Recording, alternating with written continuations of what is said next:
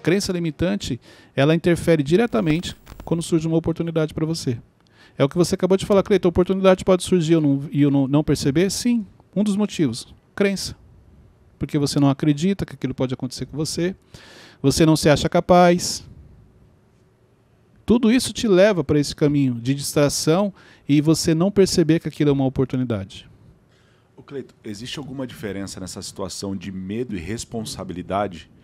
Tipo, eu não vou fazer isso agora porque eu entendi que não é o momento. Ou é o medo a, tentando Aí atrapalhar? é a história que você conta para você. Então não tem co- como eu te falar se isso é medo ou responsabilidade, porque você sabe. Então você está contando uma história que ah, não é o momento porque eu não estou preparado. Não, não é o momento porque eu estou com medo. Existe momento certo para as coisas ou não? Eu acho que existe quando, quando a gente fala da bênção que Deus tem para você. Então a gente fala assim, é, o tempo de Deus não chegou. Concordo que Deus só te entrega quando você está preparado, porque se ele te entrega antes você se perde. Então uma bênção pode virar maldição. Não, sim. Agora a, a questão sua é, é exatamente é o quanto você busca. Cleiton, eu posso ser promovido e não estar preparado para aquela promoção? Pode. Mas isso não quer dizer que vai dar errado. Você pode ter sido promovido sem estar 100% pronto, mas você estava 60%, e esse 60% é o que vai agora te ajudar para você continuar desenvolvendo, buscando e se preparar. Então, sim, algumas oportunidades podem surgir, você não está preparado, e no decorrer você vai se preparando, até porque, repare, você nunca está preparado 100%. Você sempre acha que, não, peraí, dá para melhorar um pouquinho mais. Se, se alguém chegar para você e falar, tô com uma oportunidade dessa para você, eu acho que você tem condições de tocar. Você sempre vai falar assim, cara, eu acho que eu preciso amadurecer um pouco mais nessa área. Só que quando você começa, você percebe, caramba, eu consegui. Então, você achar que você está pronto, sempre tem alguma coisa. E existe o contrário. Olha que interessante. Você não está pronto e você acha que você está pronto. Que é o pior que tem. Eu falo porque isso acontece comigo direto. Tem situações que eu fico pensando assim, não, mas se Deus permitir que isso aqui aconteça, vai, vou fazer assim. Aí passam-se os anos e eu falo, caramba, mas lá atrás eu já queria estar fazendo isso. E eu não tinha preparo na época, por isso que Deus não permitiu. Então existem pessoas que elas já estão prontas, elas não acreditam. Existem pessoas que não estão prontas, assim como eu, e acham que já está pronto. Mas você não acha que isso faz parte, assim, do, do nosso processo? Porque, por exemplo, é, quando eu era mais novo, eu não tinha é, tanto acesso, assim, eu não tinha tanto conhecimento quanto eu tenho hoje. É, acontece que eu aceitava qualquer oportunidade. E mesmo eu não sabendo que, tipo, é, o quanto, quanto a, a responsabilidade era, era grande daquilo. Então, mas isso isso acabou Não, me isso- ajudando. Não, isso aí que você falou acontece quando você está perdido. Quando você está perdido, qualquer lugar serve. Entendeu? Hoje você já não está perdido. Hoje você já tem mais clareza de quem você é. Você tem mais clareza de quem você quer se tornar. O caminho que você quer seguir.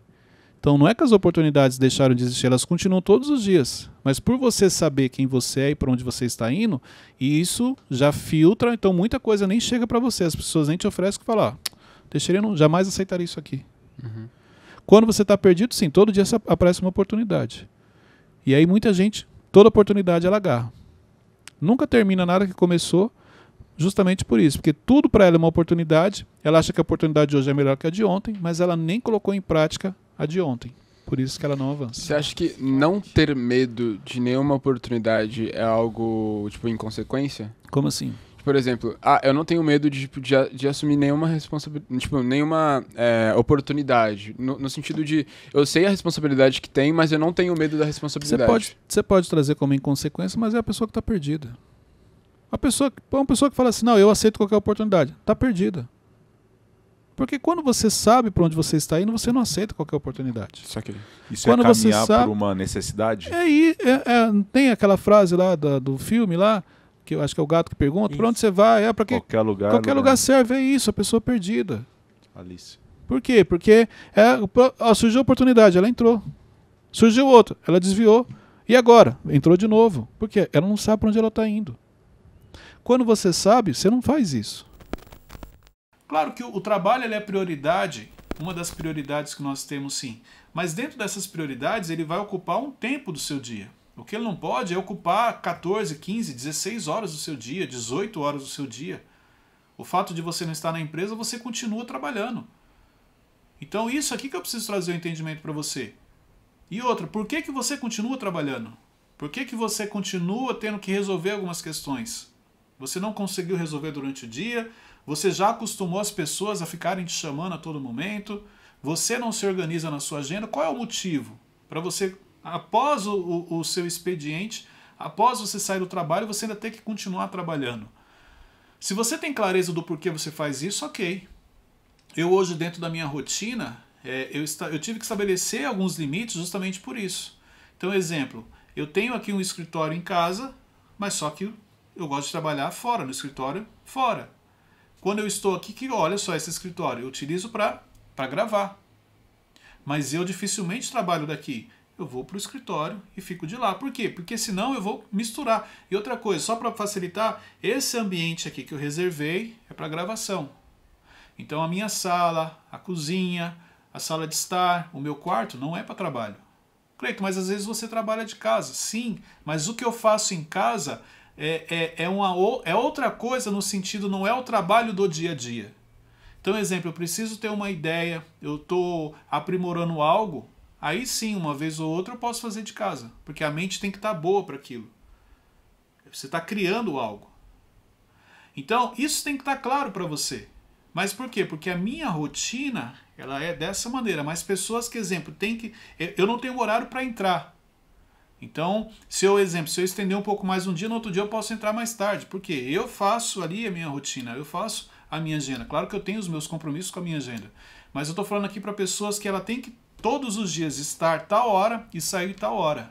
Essa pessoa ela consegue ali definir, estabelecer alguns limites, por que, que ela continua levando o trabalho para casa o seu filho, o seu marido, a sua esposa são afetados por isso.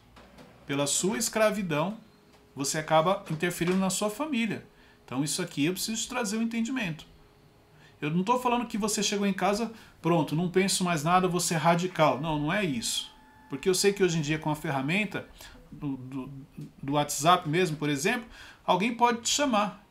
O que não pode é tomar o seu tempo. Você parar de fazer algo porque você precisa resolver aquilo. É mais ou menos isso. Uma coisa é uma emergência, uma coisa que surgiu de última hora. Outra coisa é virar uma rotina. São duas coisas diferentes.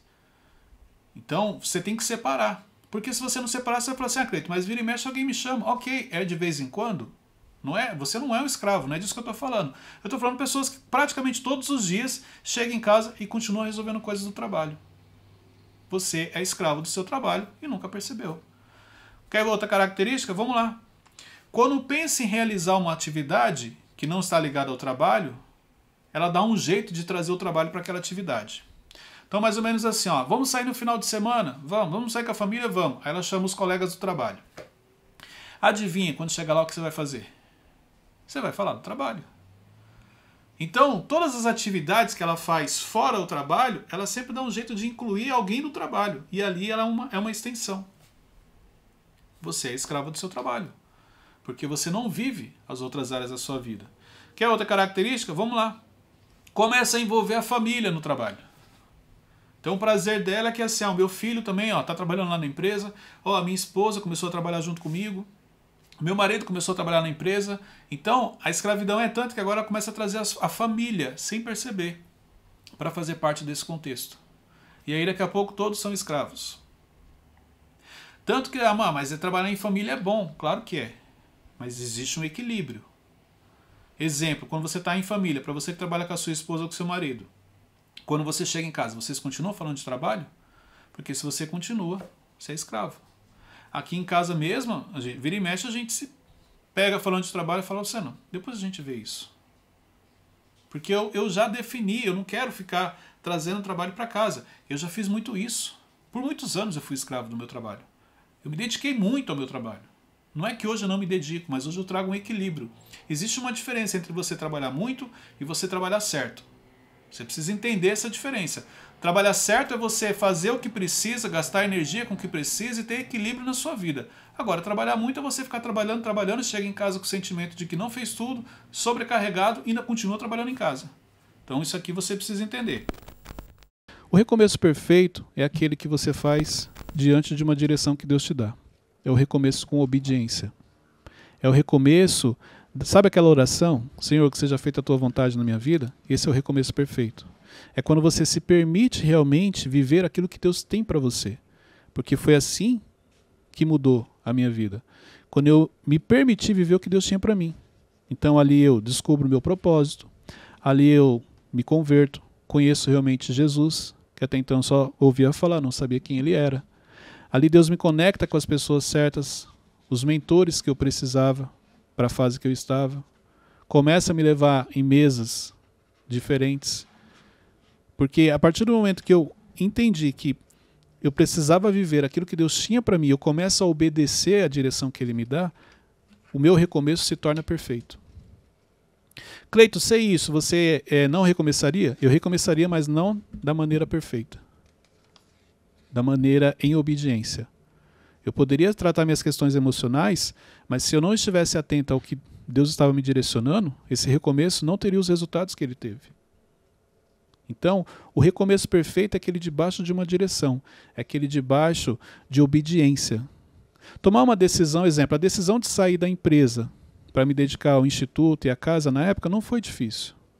O meu maior desafio é todos os dias permanecer nessa obediência. Uhum. Todos os dias entender o que é para ser feito. Então, o recomeço perfeito é aquele momento em que você se permite viver o que Deus tem para você. Uau. É o que você se permite é, estar sensível à voz dele e fazer coisas. Duas coisas acontecem no recomeço perfeito, isso aqui é importante. Deus vai te pedir coisas que você não quer fazer e Deus vai pedir coisas para você que não faz sentido. Fique tranquilo, porque é sinal que você está no caminho do recomeço perfeito. Por que não faz sentido? Porque a glória é dele. Ele não divide a glória. Por que você não quer fazer? Porque tem uma ligação com o seu propósito. Você acha que eu queria falar em público? Você acha que eu queria dar treinamento? Você acha que eu queria estar ministrando? Não, por causa da minha introversão. Uma questão emocional impactava direto no meu propósito. Então, quando ele começa a me pedir para fazer isso, eu não queria, mas eu entendi que eu tinha que fazer. Então eu tinha que vencer os meus complexos, eu tinha que vencer a autossabotagem, tinha que vencer a procrastinação, tive que vencer o medo para poder cumprir meu propósito. Debaixo de uma direção, debaixo de obediência. Cleiton, no momento que você de decide começar a escrever o livro, como você já comentou, teve algum momento, ou algum capítulo, alguma coisa que, que foi difícil para você?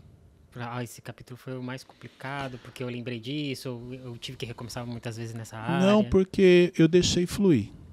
Então eu comecei, eu, é assim, a Luciana sabe, eu sentava lá no sofá, começava a escrever, escrevi, escrevi, escrevi, não parava, pronto, acabei. Mesma coisa na, nas viagens, entendeu? Então é, é, é, não era, não foi muito diferente, exemplo, de quando eu estou aqui no Mentorcast, quando eu estou dando um treinamento, é, começa a fluir, entendeu? Teve um momento que você se emocionou, sim, no, no, no, no, sétimo capítulo, em alguns momentos eu me emocionei, por quê? Porque você começa a lembrar. Entendeu? E o, onde eu me emociono? Isso aqui é interessante. Era quando eu, toda vez que eu lembrava de um detalhe onde eu vi o agir de Deus, a maneira como ele fez. Entendeu? Então isso me emocionava. É, mas é, é, é interessante, é importante você relembrar algumas coisas que você passou na vida, até para você poder ensinar, para você poder compartilhar, para você poder ajudar outras pessoas. Então, é, muita gente olha e, e, e, por não conhecer o Cleiton do passado, talvez não entenda o impacto desse meu recomeço. Então, as pessoas olham, é, mas o que eu compartilho aqui, que a gente fala no Mentorcast, no Conectando com Inteligência, são coisas que eu vivi. Então, eu, eu, eu sei era assim que eu pensava, era assim que eu agia, era assim que eu me comportava, era assim que eu dava trabalho. E na minha cabeça eu estava fazendo tudo certinho. Eu não, não enxergava que eu estava errando, entendeu? Então, esse recomeço, ele mudou a minha história, não só a minha, da minha família, porque a gente se permitiu viver. E aqui eu conto a história, até mesmo de comunicação com Deus, na, na parte, porque assim, Deus começou a me falar uma coisa, e eu imaginei que seria um cenário, e o que Deus tinha era completamente diferente. Muito maior do que eu pensava. Então você vê que até a comunicação com Deus é, não é diferente da nossa comunicação. Não é o que você fala, é o que o outro entende. Então não é o que Deus fala, é o que você entende. E você sempre tem a tendência a entender trazendo para o seu lado emocional. trazendo para aquilo que você quer. O que Deus estava me falando era muito maior do que eu imaginava. E, se, e, é, e é mais ou menos assim, ó. É, é, eu estava feliz com o que eu já estava pensando, mas se eu soubesse o que ele realmente estava falando, talvez eu teria até medo. Talvez eu, na época, pelos complexos que eu carregava, eu falasse, não, isso aí não tem como. Agora, uma coisa que eu aprendi, que na vida, Deus permite que você realize os seus sonhos, e quando você realiza que você está todo feliz, repara que ele te chama e fala assim, vem cá, que agora você vai viver os meus sonhos, aquilo que eu tenho para você. Você está feliz com o que você ganhou? Você está feliz com o que você conquistou? Você não tem noção do que eu vou fazer.